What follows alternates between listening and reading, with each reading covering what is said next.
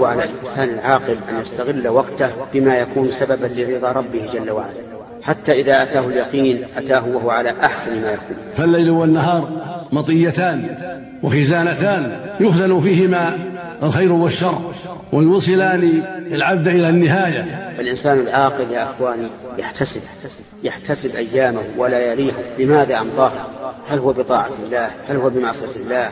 إن كان بطاعة الله فليحمد الله على ذلك.